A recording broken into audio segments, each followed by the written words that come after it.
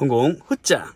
네. 제가 이제 뭐 한 번씩 눈팅을 하다 보니까 영어 말하기를 진짜 열심히 공부하시는 분들이 그래도 많이 계시더라고요. 하나 교재를 정해가지고 뭐 달달달 외운다든지 그거를 이제 혹은 뭐 뉴스 같은 거 있잖아요. 뉴스 같은 거를 이렇게 대본을 옮겨가지고 하나하나 이렇게 어, 끊을기도 해보고 해석도 해보고 낭독도 해보고 굉장히 열심히 하시더라고요.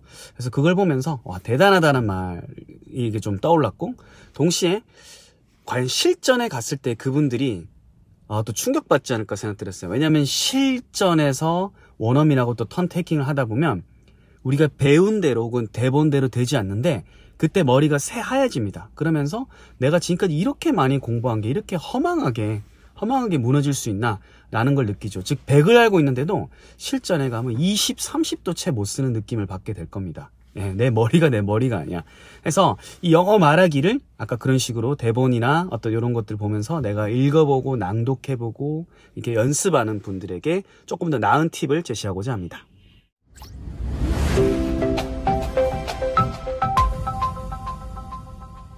자, 일단 제가 말씀드린 것처럼 말하기를 약간 공부 방법으로 많이 접근하시는 것 같습니다. 그죠? 대본이 일단 딱 눈앞에 주어지거나 텍스트가 있고 내가 1차적으로 그래도 간단한 것들 분석을 하고 그 다음에 좀 주로 낭송을 많이 해본다. 계속 낭송을 해본다. 듣고 따라해본다.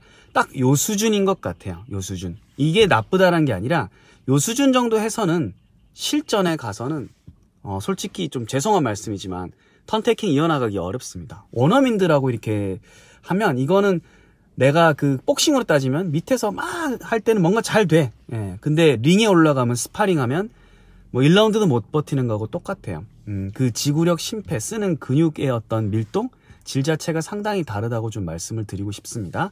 그래서 이왕 그렇게 공부하실 때 제가 조금 더 다른 방식 알려드리도록 하겠습니다. 자, 먼저 이렇게 뭐 뉴스든 아니면 교재든 이렇게 텍스트가 있죠. 뭐 분석하고 이런 것들은 편하게 하십시오. 네, 분석 편하게 하십시오. 너무 깊게 하지는 마세요. 그 문법적인 걸 너무 하려고 하지 마시고 의미 파악이 순서대로만 되면 사실은 딱딱 순서대로만 되면 그 문법 용어를 사실 모르더라도 전혀 관계는 없습니다. 여튼 그 정도로 됐다. 의미 파악이 됐다라고 싶으면 스크립트가 있죠. 그럼 그때부터 뭘 하셔야 되냐면 어 그거죠. heads up reading을 많이 해보세요. heads up reading. heads up reading이 뭐냐면 말 그대로 그렇죠. 뉴스 앵커들이 딱 두고 그렇죠. 어떻게 해요? 밑에 뭐 대략적인 스크립트는 있을 거잖아요. 그죠? 그럼 이제 어떻게 해요? 앞을 보면서 이야기하다가 조금 막힐 것 같은 시점에서 살짝 내리면서 보고 확인하고 읽고 살짝 보고 어, 올라가면서 읽고 이런 과정을 말하는 거거든요. 그거 한번 해보세요. 그거 한번 해보시면 외워서 그냥 낭송하는 거하고 차원이 다릅니다. 어느 시점에 내 의식이 살짝 흐려지면서 막히려고 하는지 그걸 이제 집중하게 되고 그 시점에 내려가지고 다시 확인하면서 올려가지고 이어나가고 이런 거니까 어, 내가 뭔가 생각에 어떤 힘이 부족하면 계속해서 내려보는 시점이 있어요. 아, 그 지점이 내가 내 생각, 외워서 하는 게 결국 아닌 거잖아요. 생각을 따라가야 언어를 할수 있는 거거든요. 그래서 그 지점을 발견할 수 있기 때문에 up reading 되게 중요합니다. 그래서 계속 막히는 부분이 있으면 아 내가 지금까지는 안다고 생각했던 것이 실전 근육에서는 사실 크게 도움이 안 되는 부분이었구나 효율성이 좀 떨어졌구나 하는 걸 알 수 있어요 그래서 첫 번째로 저는 up reading을 되게 추천드립니다 한국 훗! 자 두 번째로 요거 좀 부끄러울 수 있는데 뭐 하나 좀 이왕 공부를 했다면 heads up reading 식으로도 공부하고 두 번째는 어 거울 보고 해보세요 거울 보고 왜냐면 외국인이 없잖아요 원어민이 없기 때문에 일단은 거울을 보고 내가 했던 거를 한번 한번 나 자신한테 이걸 다른 사람의 생각하고 말을 해보세요. 이 시점에서 많이 무너지더라고요. 왜냐하면 원어민을 만나면 살아있는 사람이잖아요. 그죠? AI가 아니잖아요. 그죠? 살아있는 사람 앞에 있으면 정신 못 차려요. 정신 못 차려요. 왜냐면 그 사람이 어떤 말을 할지도 모르고 어떤 뭐 걸 좋아하고 어떤 문화에서 온, 왔는지를 우리는 개념이 없기 때문에 굉장히 좀 두근두근합니다. 그래서 사람을 사실 대면하는 습관을 많이 가져야 되는데 뭐 당장 사람 구하기가 쉽지가 않으니까 뭐 화상영화 하더라도 그게 뭔가 원격 느낌이 있어요. 그렇기 때문에 어 뭐 물론 화상영화 하면 좋겠지만 거울 같은 거 보면서 평소에 계속 이제 자신한테 말해보는 겁니다. 그래서 내가 외웠던 거를 거울 보면서 이야기하다가 눈 보고 이야기하다 보면 또 막히는 시점이 와요. 혀 끝에서 뭔가 설단 현상도 오고 뭐 이게 생각이 안 나요? 생각이 안 난다.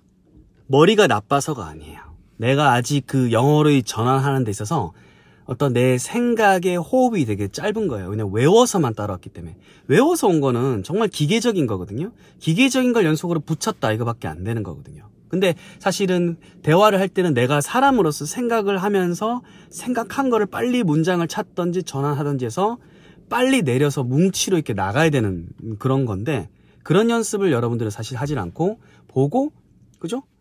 해석해보고 낭독하는 수준이니까 사실은 그게 유기적으로 되지 않습니다. 실전 가면 100% 느끼실 거예요. 네, 100% 느끼십니다. 그래서 조금 표현이 부족하더라도 생각을 옮긴다. 그리고 그 사람 걸 듣고 해독하고 빨리 내 생각을 전달한다.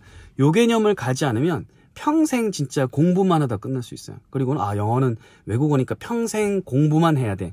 잘못된 거죠. 공부만 해서는 그걸 메꿀 수가 없습니다. 그래서 거울 보면서 내가 눈 마주 보고 계속 내가 했던 걸 해보고 중간에 좀 막히면 내가 막혔을 때 영어로 뭐라고 말할 것인가. 뭐 그러니까 상대방 거울 속의 상대방한테 I'm sorry, but I forgot 뭐 what to say.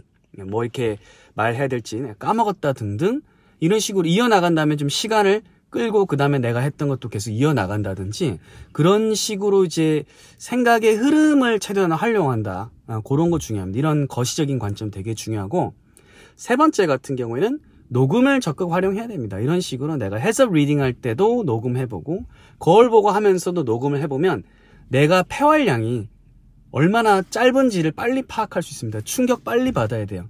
왜냐하면 내가 낭송하는 거, 스크립트고 낭송하는 거, 낭독하는 거 녹음하면 솔직히 뿌듯해요. 잘해 보여요. 물론 그런 지점도 중요한데 그게 매번 내가 해왔는데도 느는 게 없다.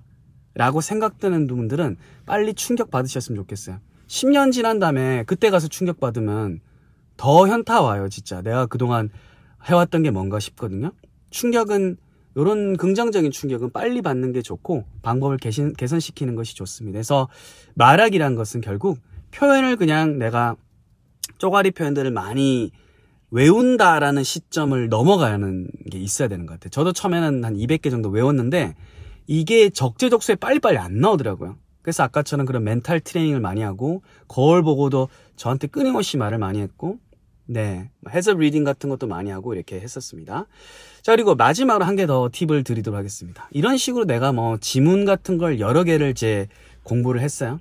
공부를 했으면 그걸 다 외우려고 하지 말고 heads up reading만 잘 되는 수준이면 됩니다. 그러면 이게 1번 그리고 다음 거는 뭐 2번 다음 거는 3번 이런 식으로 돼 있잖아요. 그죠? 그걸 어떻게 하느냐? 뽑기를 해보세요. 뽑기. 말하기 할 때도 어떤 상황이 올지 모르잖아요. 그래서 1, 2, 3 상황 중에서 어떤 게 올지 모르지만 빨리 끄집어내는 거 되게 중요하거든요. 그래서 1, 2, 3번 제비 뽑기라고 3번 딱 나오면 3번 페이지 넘겨서 그때부터 최대한 안 보고 heads up reading을 하는 겁니다. 그러면 또 그 상황에서는 굉장히 에너지를 많이 써야 될 거예요. 근데 그게 엄청나게 좋은 트레이닝이 어, 된다는 겁니다. 자, 이런 식으로 해서 오늘 제가 말씀드렸는데 저는 초보를 거쳐서 중급을 거쳐서 상급을 갔는데 상급 수준이 되면 이제는 생각하는 대로 탑픽에 대해서 생각하는 대로 반응하고 그 사람의 것에 다시 반응하면서 유머를 할 수 있고 또 꼬고 그 사람 놀릴 수도 있고 또 이제 받고 이게 이제 가능하거든요. 그거는 결국은 생각, 생각을 영어로 옮기고 어 이렇게 좀 크게 크게 보는 단위의 speaking 연습을 많이 한 거지 speaking 공부를 많이 해서는 절대 중급 상급까지는 갈 수가 없다라는 거. 아마 주위에 상급 분들이 계시다면 제가 말하는 게 뭔지 알 겁니다. 아, 그쵸. 아, 그거를 꼭 명심을 하시고 공부가 아닌 진짜 연습, 어, 나로서 내가 진짜 말한다. 그런 마음을 가지고 연습 많이 해보시기 바라겠습니다. 다음번에는 주제에 대해서도 한번 제 시간 날 때 주제를 갖고 또 이렇게 말할 거리가 많고 그것도 유기적으로 연습을 하다 보면 정말 도움이 많이 되거든요. 그래서 그거에 대해서도 말씀드리겠습니다. 오늘 여기까지 할게요.